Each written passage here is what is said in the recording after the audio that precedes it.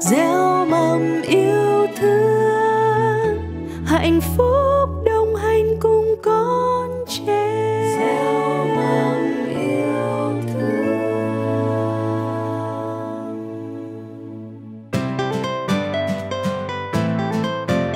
Hello, everybody. You are listening to the bilingual fairy tale series, a product from Cultural House of Youth in Ho Chi Minh City. Hello, dear children. Our story tonight is named The Ugly Duckling. The story is about a poor duckling who had a strange appearance. Because of his differences, he faced a lot of discrimination and bias. Until one day, he found out his true identity. This is a very touching story with a surprising and interesting ending. So, without further ado, let's get right into it. Once upon a time, down an old farm, lived the duck family, and Mother Duck had been sitting on the clutch of new eggs. One nice morning, the eggs hatched, and out popped six chirpy ducklings. But one egg was bigger than the rest, and it didn't hatch. Mother Duck couldn't recall laying that seventh egg. How did it get there? Tuck, tuck, the little fellow was pecking inside his shell. Did I count the eggs wrongly? Mother Duck wondered. But before she had time to think about it, the last egg finally hatched. A strange looking duckling with gray feathers that should have been yellow, a black beak, and huge feet gazed at a worried mother. The ducklings grew quickly, but Mother Duck had a secret worry. I can't understand how this ugly duckling can be one of mine, she said to herself, shaking her head as she looked at her last born. Well, the great duckling certainly wasn't pretty, and since he ate far more than his brothers, he was outgrowing them. As the days went by, the poor ugly duckling became more and more unhappy. His brothers didn't want to play with him, he was so clumsy. Whenever they played and chased, the poor duckling always fell behind and sometimes knocked his sister and brothers to the ground. On the farmyard, folks simply laughed at him the horses neighed at him and called him names like Blacky Baby and Ugly Duck. The cows whispered mean words when he walked by. The farm dog barked and growled at the poor duckling, though he never did anything that upset others besides being strange looking. He felt sad and lonely, while Mother Duck did her best to console him. Poor little ugly duckling, she would say. Why are you so different from the others? Hmm, I don't know what I can do to help you, poor baby. And the ugly duckling felt worse than ever. He secretly wept at night. Nobody wants me, and nobody loves me. They all tease me. Hmm, why am I different from my brothers? And then one day, at sunrise, he ran away from the farmyard. He stopped at the pond and began to question all the other birds. Hey, do you know any ducklings with gray feathers like mine? But everyone shook their heads in pity. Sorry, boy, we don't know anyone as ugly as you, sorry. However, Ugly Duckling did not lose heart and kept on making inquiries. He went to another pond, where a pair of large geese gave him the same answer to his question. What's more, they warned him Do not stay here. Go away. It's too dangerous for you. There are men with guns around here. The duckling was sorry he had ever left the farmyard, but he was still determined to find an answer. Then one day, his travels took him near an old countrywoman's cottage. Thinking he was a stray goose, she caught him. I'll put it in the hut. I hope it's a female and it will lay plenty of eggs, said the old woman, whose eyesight was poor. But our ugly duckling laid not a single egg. The hen kept frightening him. Just wait. If you don't lay eggs, the old woman will break your neck and pop you into the pot. And the cat chipped in. I hope the woman cooks you, and then I can chew at your bones.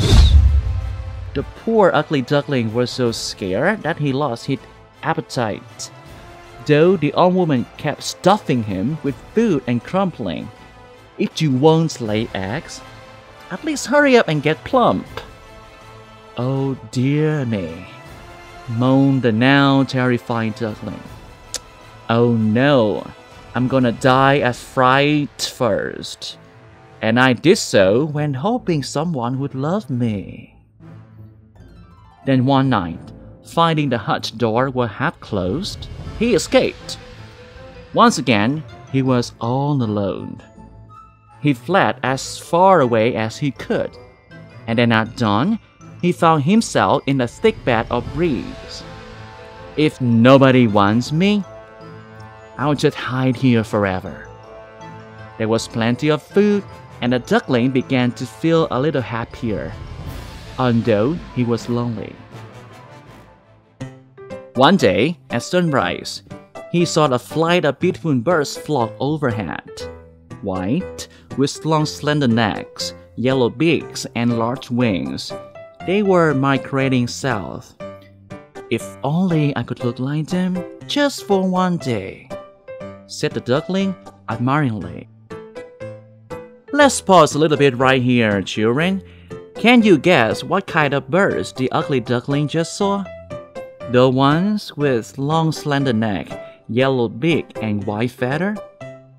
Hmm, well, it's alright if you have not figured it out, because we will meet those beautiful birds again at the end of our story.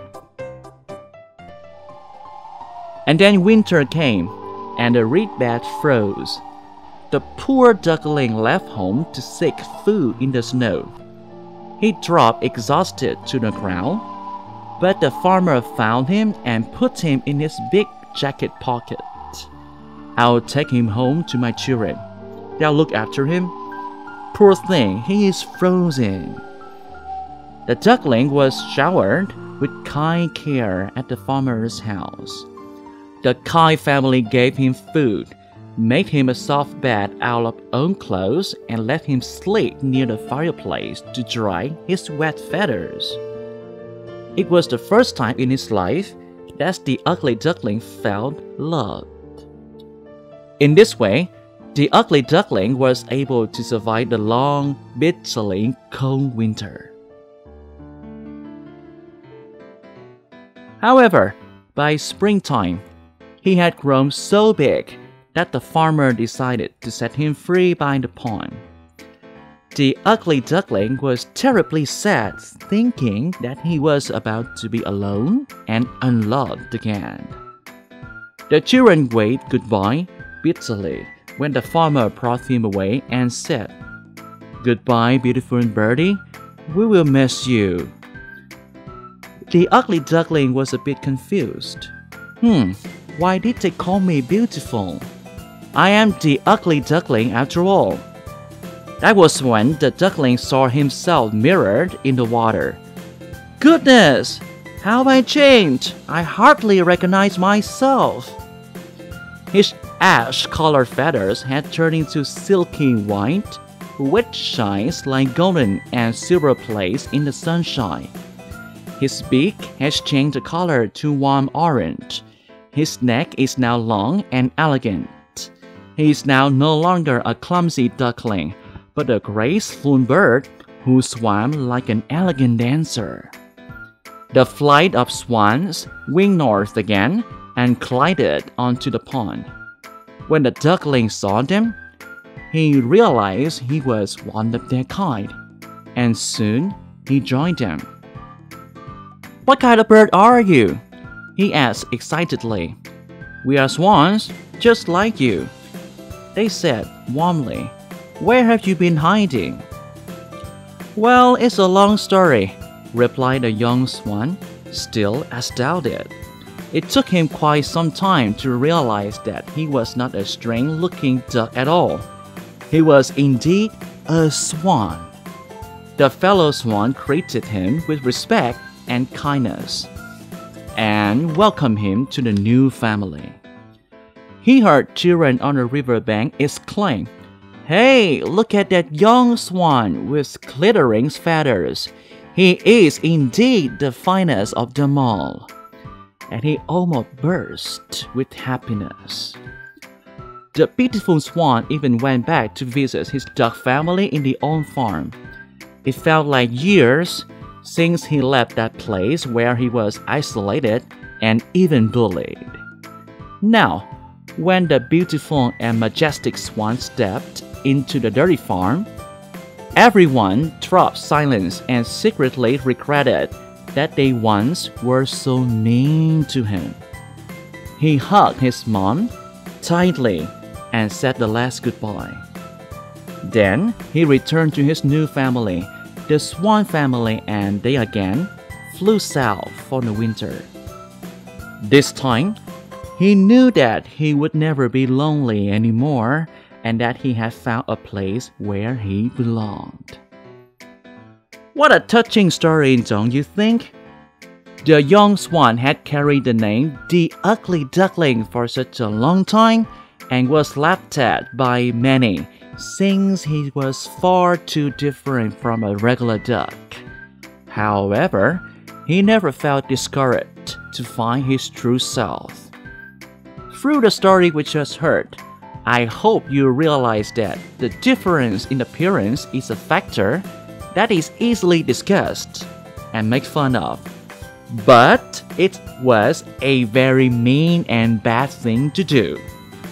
No matter if it's yourself or someone you know, please remember that deep inside of each person, there is beauty.